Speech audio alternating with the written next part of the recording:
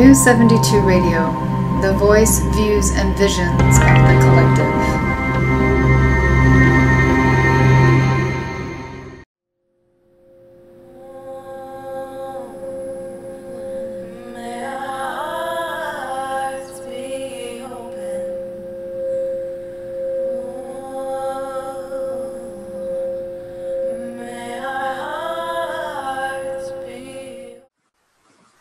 Hi, welcome to the practice of healing. I'm Sonya Wilder, and this is my broadcast for New 72 Media for Tuesday, August the 2nd of 2016. I'm so glad that you joined me. So, before we begin, let's take three full deep breaths. Make sure that you're seated comfortably. Inhale through your nose. Exhale through the mouth.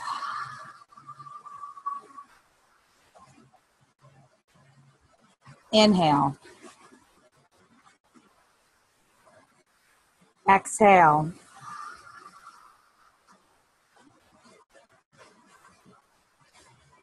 Inhale.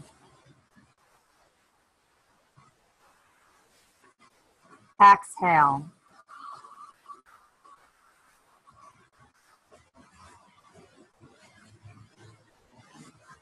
Wonderful. So, hopefully, you're feeling grounded and centered, and your parasympathetic nervous system of endorphins and relaxation has activated, kicked in, and gotten stronger. I know mine has. What I want to talk about today lack. I just spent almost a week in Mount Shasta, California, in in the popular spiritual groups, it's known as the root chakra, the Muladhara, the pelvic bowl, the chakra center of the planet. And you know, some people say, well, that's debatable. Some people call it the crown chakra. That's not my experience. What I what I experienced there is my pelvic bowl opening and this need to get down into my body, my energy more, and to get my basic needs met because the root chakra is all about your basic physical needs and the kundalini sexual energy. So that's something that gets activated for me as well. There is more kundalini energy. And the messages that come through there for me when i go are always root chakra messages. So here is a message. Here's a theme that i received there in meditation and then several people brought this in and I ended up having conversations with several people about this. Lack. Lack is something that we carry in the root chakra at the pelvic bowl, the base of the pelvic bowl. The root chakra is at the perineum between the genitals. And lack is about your basic human needs being met and the kundalini energy that starts at the base of the spine and moves up like a snake coil all the way through the chakras, through the nadis, through the Sushumna nadi, the central channel in the body, all the way through the crown. And you know, I had I had conversations with several wise people. I'm so grateful for these conversations about lack. My mind still gets stuck in lack. Very annoying. I don't like it. And I want to get out of it. So I have to practice being as consciously aware as possible. So that when I'm speaking from I don't have, or it's not there for me, or there's no money, that's not true because that's all in the mind. I even created Sonya's wisdom, my little blurb that I, I do on my phone or my iPad about this which I'll post. Someone said to me while my family and I were there in Mount Shasta, when I said, There's a lot of lack. And, and people speak lack. And this wonderful, amazing, wise person said to me, There is no lack. And it was just so simple and so obvious. And I sat with it for a while. Um, you know, I, I talk about the matrix, the system that most of us live in that's designed for us to serve it at the expense of our life force. So when I'm talking to this beautiful person about the matrix, and this wise person says to me, There is no matrix, it doesn't exist anymore. It only exists here. And again, it's something that keeps coming through in meditation for me. And so to be able to hear it without, that this person was mirroring what was coming from within for me. There is no matrix. We hold it here. If we would all step out of the mindset of lack, oh, I have to conserve more. I'm going to have to cut back on my expenses. I'm going to have to cut back on my food because there's not enough. There's a country in economic crisis. Therefore, we have to live less, have less, not eat so much. I hear these words often from some of the, the key people in my life and some of my students and some of my clients. So I don't really have enough because we keep talking about it and we keep living that way because we think that way. Of course, there's abundance. We're source energy having a human experience. There's no lack, it's an illusion. Source energy is abundance, it's expansive. And yes, it's contractive as well. And then after the contract, contraction comes expansion. It's all about experience. There is only abundance. Somewhere along the way in other lifetimes, we got in the habit and the mindset of there's not enough. And perhaps we decided to come into lifetimes to experience not enough or nothingness or this deep pain and deprivation in order to push us back into expansion and light. I feel that I did, and I remember many, many lifetimes where I did, where I was poverty stricken. I was still never without. I still had my heart, I still had my soul. I still loved. Was still there It was only the illusion that it was gone. There's no lack. So we desire community, us as light workers, star seeds, starseed light workers, light workers. We desire a beautiful community. I do talk about it with my people all the time. We desire partnership. I do. I desire my partner, my beautiful life man we talk about this. We don't want to be in the monetary system anymore. We want to cut out the middleman. We want to cut out money. Money's not real. It's not. Money's not real. It's a neutral energy that you can put whatever you want to it. It's just a middle conduit of goods to services, services to goods, services to services, goods to goods. So we really want to get back to community if we really want to get into the trade bartering system, we have to start doing it. And it is starting. I mean, it's starting to happen.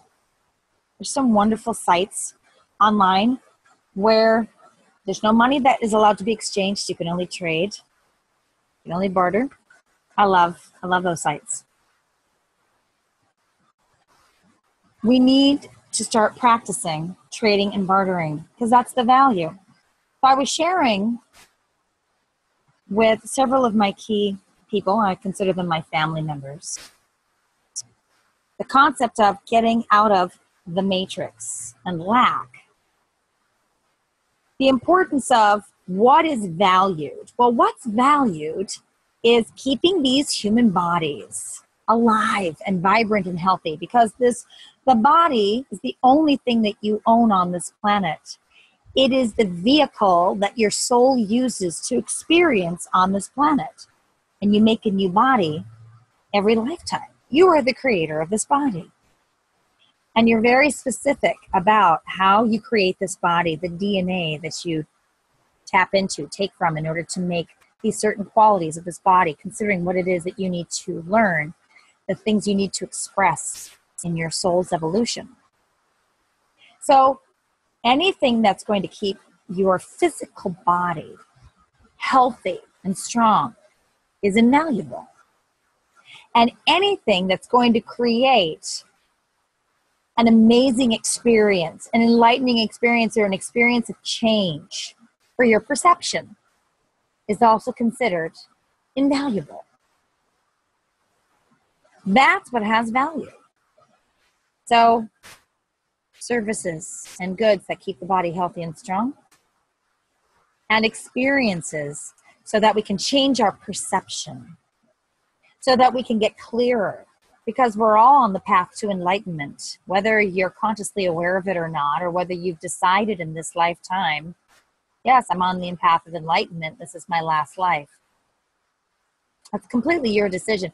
Everybody's in their last life on this on this earth, whether you ascend, which is in yoga called Maha Samadhi, conscious death, or whether you're dying in this body, let the body die, and you go into a higher realm to finish your soul contracts that you've accumulated on the planet lifetime after lifetime. And you do it, you finish your soul contracts in a higher realm. That's very beautiful. That's your choice. But we're all having our last life here because this is a big ascension life on this planet. We're all raising our vibration. Everything is vibration.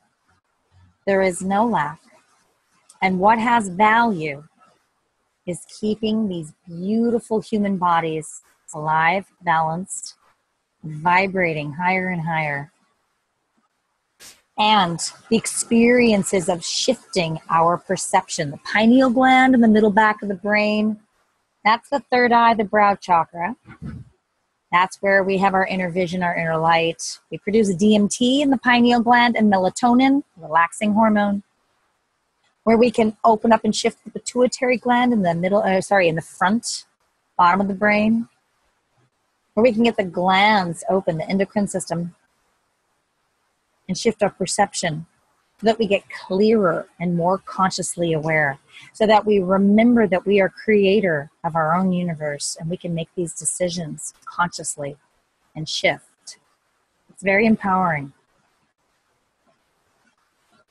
That sounds abundant, doesn't it? There's no lack there. Lack is in the mind, it's an illusion. And this is just becoming clearer and clearer and clearer to me every day. I'm grateful for my experience in Mount Shasta, California. In my perception, it is the root chakra, the Muladhara, of our beautiful Mother Earth. It always gets me grounded, always helps me to open up the pelvic bowl and to use this body more consciously and in more love. I always love myself more. So that's my insight today that I want to share with you. This is a powerful time. We are now in August. And for all of my amazing August 2nd, friends. I have so many friends with birthdays on August 2nd. Happy solar return. Happy sun sign to all of you. Thank you for being in my life.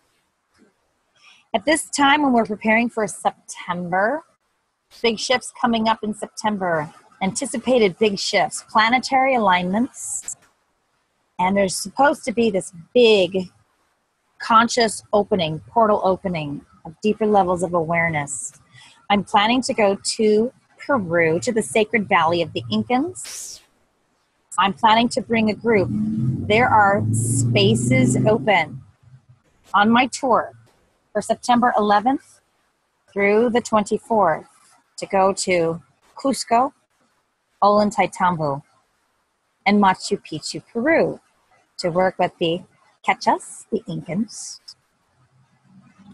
to have ceremony with the Pacos, the shaman, to hike the Andes, to eat the most amazing healing Peruvian food, to have the very healing coca leaves and tea and chewing the coca leaves and all the many other beautiful medicines of that region.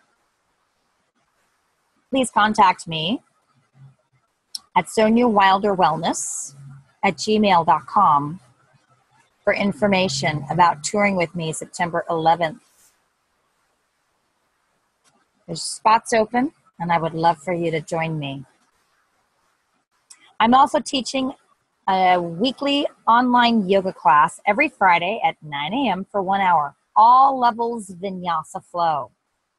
That's online on Zoom through New 72 Media. It's a wonderful class. So you can go to my website, sonyawilderwellness.com, go to the yoga tab, and you can register. It's a wonderful way to practice yoga in the privacy of your own space through any of your devices. You're going to get a wonderful practice. So, thank you so much for tuning in. I'm always grateful.